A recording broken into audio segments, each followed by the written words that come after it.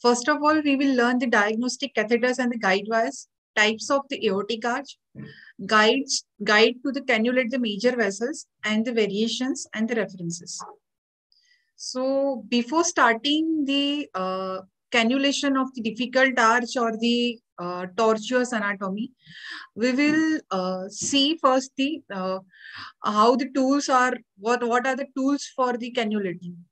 So first of all, we will learn about the diagnostic catheters. Actually, when I started the uh, doing the paintings, then I went there. So I asked for the pencils. So they are like, so many pencils are there. So I was confused. So are there so many pencils? And the similar in the catheters only. So many diagnostic catheters are there. So I was not knowing about the uh, various types of catheters and the uses of the catheter. So we will start with the diagnostic catheters first. So the two types of uh, catheters are there. We can divide basically in the simple as well as the complex one. So here we can see on the left hand side, simple catheters have the one or the two curves. And here on the right side, there are the complex curves, complex curve catheters. So there are various curves are there and uh, we will learn about the uh, uses of that different type of catheter. So here we can see the how the catheters are selected. So first of all, A is here tip length. So increased length provides a more stability. So in the complex catheters, there are there is more tip length is available compared to the simple catheters. The B is here. B is primary curve. It is basically based on the angle of the target artery from the parent vessel. C is secondary curve based on the width of the parent vessel because this, this part basically remains in the uh, parent artery when we are cannulating. Then uh, this D is tertiary curve that, that is basically based on the curvature of the length vessel and the E is length. So uh, when we are using the diagnostic catheters for the aortic arch or the major vessels, most of the times we use the 100 centimeter of the uh, diagnostic catheters. So since uh, straight catheters as well as the curved catheters. Straight, straight catheters, uh, catheters most commonly used are the Headhunter, JR4, Berenstein or the Word catheter and they are good for the type 1 arch and not for the not, uh, not for the variant anatomies. The curved catheters are like Simmons, Simmons 2, 3, VTK type of catheters are used for the type 2 and the 3 aortic arches and the various anat variant anatomies. We will learn later on about the type 1, 2 and 3 arches. So to summarize here, this is Headhunter, Simmons, VTK and the JR catheters. So they had written cannulation success success rate is like 50 to 70 percent in the Headhunter, but I think in the practical scenario it is much more than the uh, this 50 70 percent, and the Simmons is 90 percent, and the VTK is 70 to 90 percent, and the just uh, JR is only 50 percent. The Headhunter and the JR are the simple catheters. So they are used for the type 1 aortic arch cannulation. Uh, whereas uh, Simmons and the VTK are the uh, complex curved catheters. So they are used for the difficult arches. And the risk of embolism is very minimal in case of the Headhunter, which is routinely used. And which is, uh, this is Simmons is a uh, very high risk of the embolism. And the after uh, advance after cannulation the advan uh, advancement is very difficult in case of the Simmons whereas uh, it is very easy in case of the uh, Headhunter. And the chances of prolapse into the arch after advan advancement is minimal in case of the Headhunter and difficult in case of the Simmons catheter.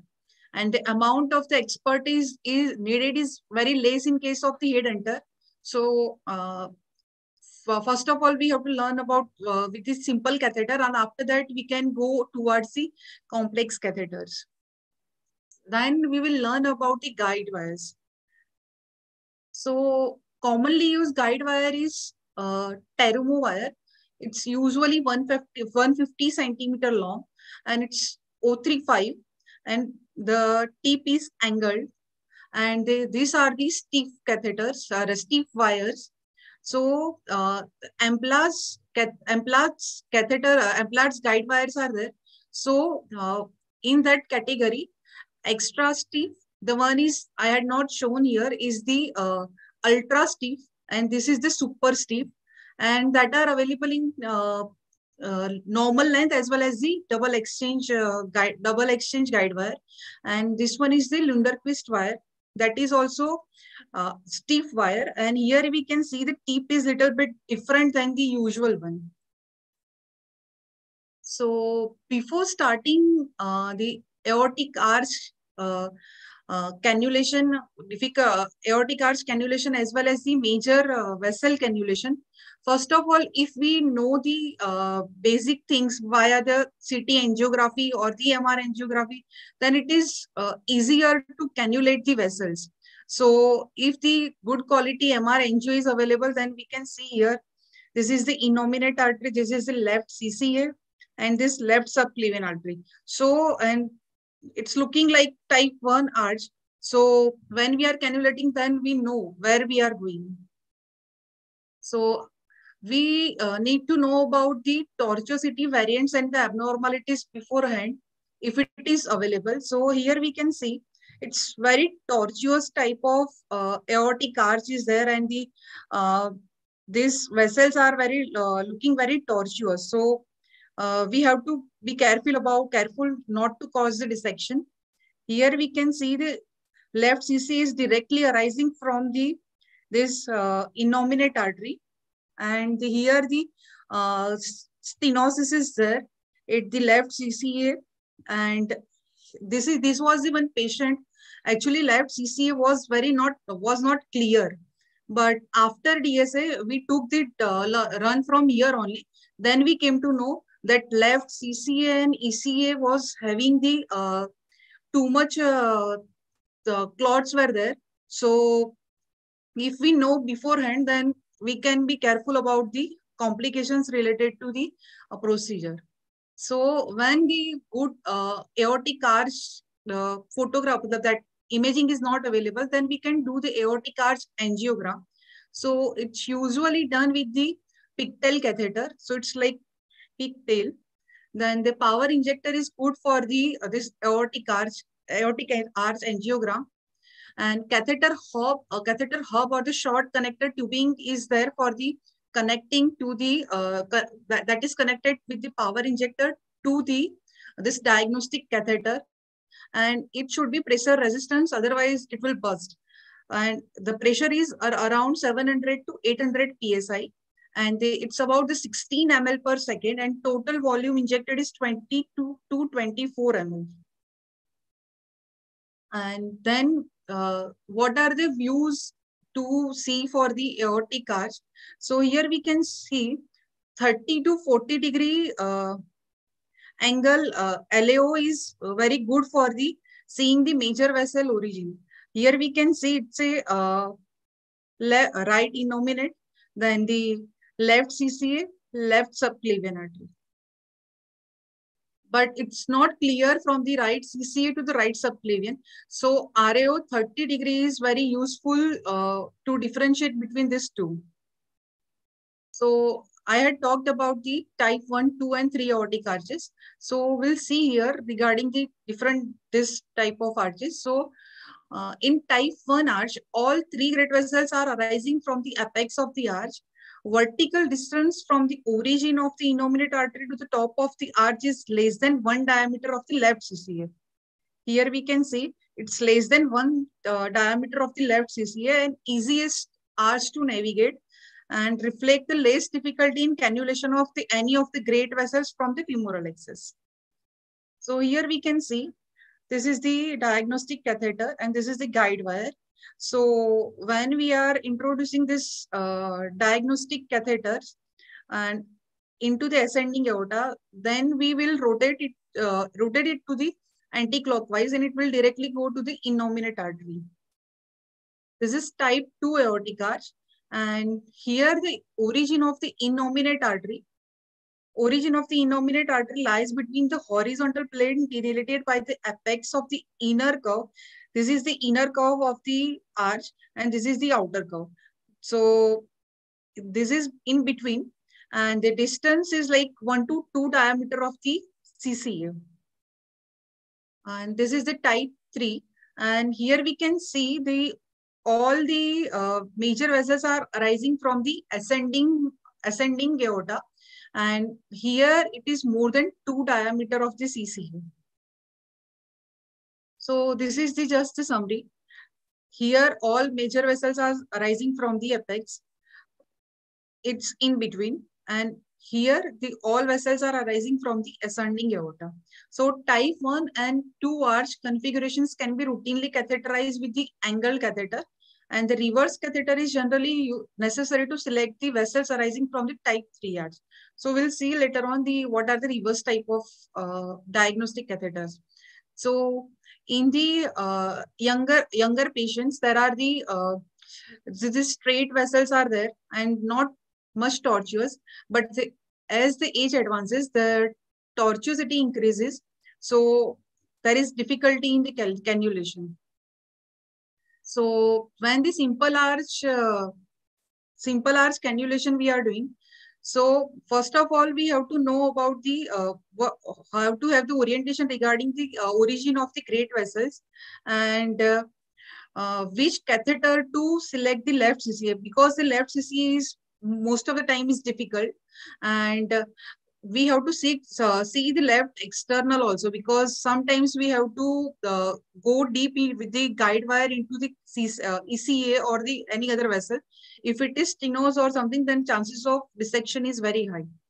And cannulation difficulties most of the time arises with the bovine arch. As we had discussed last time, the bovine arch is like the shared origin of the uh, innominate as well as the left CCA commonly. So the force when we are uh, cannulating uh, with the diagnostic catheter, the force transmitted to the force is basically transmitted to the ascending aorta. And here we can see some are difficult and then some are simple because the this curve is different in all type of bovine arch bovine arches it's uh, all bovine arches are not the same one so what are the uh, different methods are there to cannulate the uh, bovine arches. So the uh, usually reverse type of diagnostic catheters are there. So reverse type of catheters like SIM 1 or the SIM 2 or the categories of the same catheters. When we are pushing the catheters, it will go into the major the uh, the ascending aorta or the the parent vessel which is there and when we are pulling it will directly cannulate into the one of the major vessel so it's a uh, pushing and pulling technique is there so uh, here we can see when we are pushing the catheter, so the main thing is reformation of the SIM catheter. So when we are pushing, it will take the shape of the uh, arch. After that, the this SIM is already formed, and when we remove the uh, wire, here we the wire has been removed, and after that, it had it has been uh, rotated anti-clockwise. So it will directly go into the uh, innominate artery. Then reconstitution in the left subclavian artery is also one way. So uh, diagnostic catheter, the same catheters are directly uh, introduced into the left CCA with the wire. After that, uh, it has been uh, again pushed till the uh, shape of the catheter is there. After that, uh, when we push, when we push then uh, it will take the shape of the, sorry, when we pull, it will go directly into the one of the major vessels. So reconstitution of the same artery can be done in the any way, at the iliac artery, at the uh, subclavian artery or the ascending aorta. The reverse curve system is also there. So here the uh, the already it is into the uh, this common origin after that, it has been uh, like torqued anti-clockwise and it will take the reverse shape. And after that, when we pull it, then it will directly go into the uh, left CCA. So here is the, it is the same thing. And when we are cannulating via the radial route. So radial route is little uh, easier than the femoral one for the bovine arches. So the SIM one directly, SIM directly go into the uh, ascending aorta.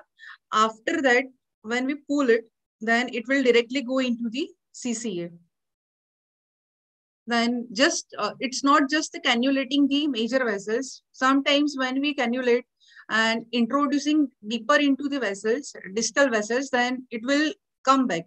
So what are the different methods to prevent that? So coaxial sheath uh, placement, placement can be done. Here the Cook, Terumo, Arrow, Cordis sheath are there. And the most important thing is that we have to take the length of 70 to 80 centimeter of the this long sheath because the when we take the uh, longer sheath than that, then it will directly cover the diagnostic catheter. So we have to take the uh, length of 70 to 80 centimeter only. So sometimes the uh, uh, when the uh, it's very difficult to cannulate uh, deeper into the distal vessels, then the anchoring into the ECA is very useful and the extra stiff wire, as we had talked regarding the Amplatz wire, that is very easier for the uh, guide, guide uh, difficult, easier for the uh, this one. Then this is like balloon guided anchoring technique. Actually, I had not seen, but I will ask the seniors what is basically this. So here they had written like the balloon is there to uh, give the support to the uh, wire on the diagnostic catheter so it can go deeper into the uh, vessel. So this is the guide position in the CCA. Uh, when the uh, the wire is not supporting into the deeper vessel, so we can take the two wires to support the another wire. And the most important uh, complication related to this all uh, cannulation is atherosclerosis. Actually, my first DSA, I when I was torquing the diagnostic catheter, I caused the uh, the same uh, atherosclerotic plaque went away into the MCA, and uh, on table patient had the stroke and patient recovered afterward thrombect after thrombectomy completely. But we have to be careful when we are doing this type of procedures. So uh, excessive catheter manipulation should be avoided and the, the same type of catheters are very prone to have the uh, this type of complications. And these are the references for my talk. And thank you.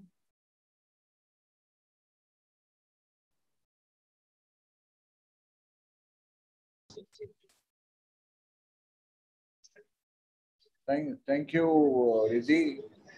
You covered all the actual anatomy and the catheters that we use and how to use them very nicely. Has Rahul come? Dr. Rahul has come? Actually, sir I was busy with one procedure, so. Anyway, I think you've done the job very well. And uh, what is important is not to push. If there is resistance, it means the catheter tip is hitting a wall and you can cause a dissection, especially if in the arch, it is if it is what we call a porcelain arch. In the porcelain arch, there is calcification in the wall of the aorta on the arch. And many times you can see this calcification even on plain X-rays. You can see the tubular calcification. And uh, if you see that, you should be very careful and not work without a wire. So as soon as you enter the catheter, try and get the wire in. And uh, the wire that we like to use for exchange or for going distally is not the Terumo because the Terumo is okay to enter, but it doesn't give enough support for the catheter to climb. So once we've got the catheter in a certain distance, we switch to a Teflon wire. The Teflon wire has a wider tip, so it stays, uh, the wider tip is uh, safer and less cause, likely to cause dissection than a wire which is like that. So even though the Terumo wire is supposed to be very delicate. It can also cause dissection. So one should, so one first is don't work blind. When you are advancing a wire, the wire should be under vision. The tip of the wire should be under vision. If you use a Teflon wire, which is like a J, like a J, then you can go straight up. Don't do fluoroscopy all the way until you reach the arch. Then you do fluoroscopy. But if you are using a terumo, which is almost like a 45 degree, then you must always do fluoroscopy from the groin up to the head, neck. And uh, at least we have found that to get into the left carotid, the reverse uh, flick or the counterclockwise rotation is better. And to get into the innominate, clockwise rotation is better. So I think uh, that's what I would have to say in addition to what uh, Riddhi has already said. If any of you have any questions or comments, please go ahead.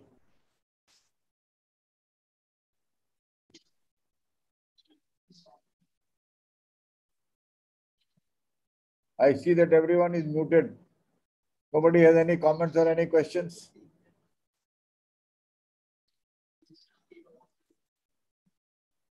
One more thing is when you are uh, looking at an unfolded aorta, the AP view is not the best view. You should go to LAO 30. If you go to LAO 30, very often the arch is opened out and you can see the left carotid origin better. So remember, you don't always have to work only in the AP. And when we are taking an arch shoot, you have to be very careful about the air. You should be careful not to let air into the system because air is our enemy.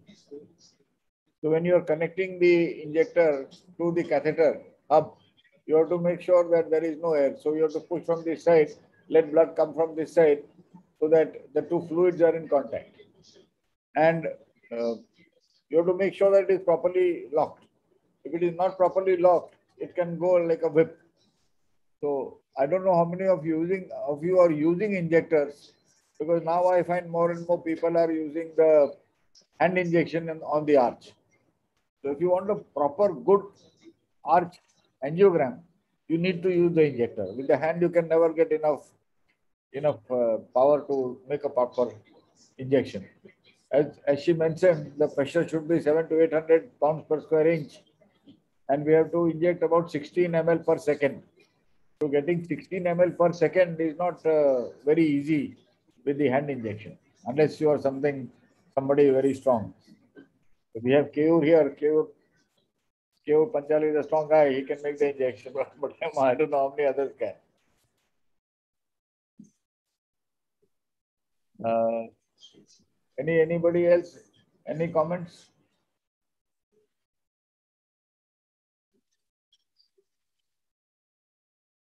No? In that case, we seem to have finished early today. Uh, do you want to take over? No, sir. Yeah.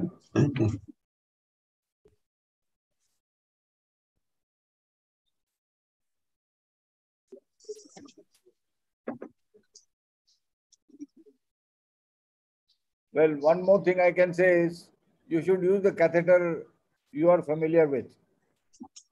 Most of us use the headhunter. Most of the people in India have worked with me, so they have used the headhunter. But those who have worked in Chitra, for instance, they will use the JR4 because they are more familiar with the JR4. A lot of people use the vertebral catheter, the V, the vertebral catheter which has only one, one right angle, or the Picard catheter which has a slightly longer tip. So whichever catheter you are happy with, that is the catheter you should use. And once again, I will say, if you encounter resistance, don't push. Just come back a little bit, turn, and it will go up. Don't push, whether it is a wire, whether it is a catheter. If you encounter resistance, come back just a little bit, turn, it will go up. That is what you should do.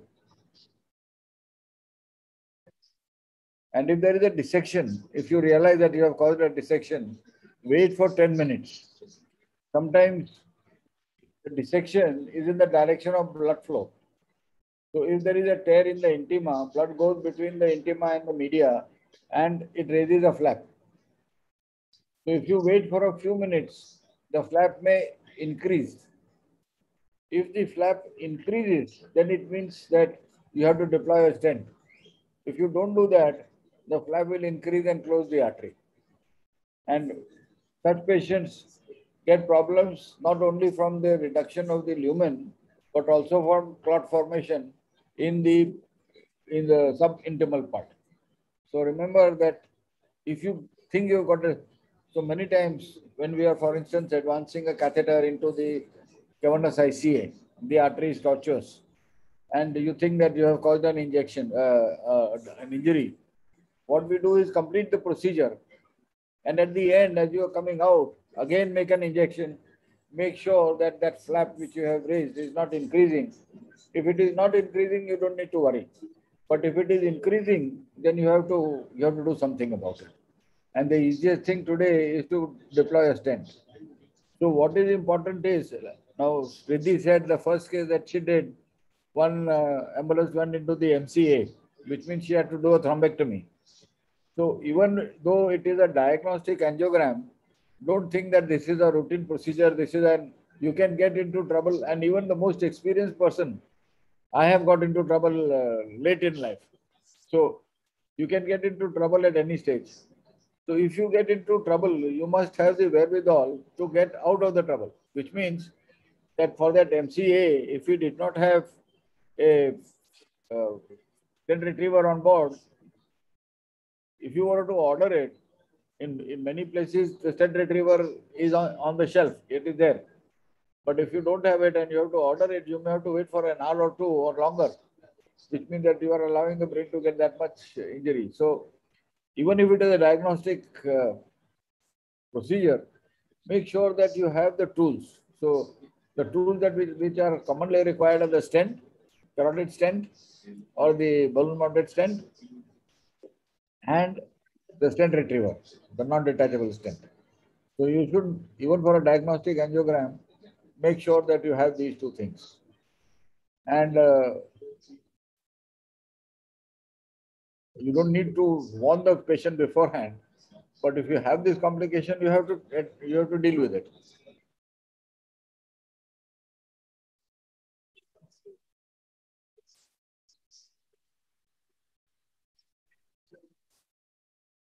Thank you for input, sir. Okay. Thank you. So if uh, there are no questions, I think we can uh, close this session. If there are no comments.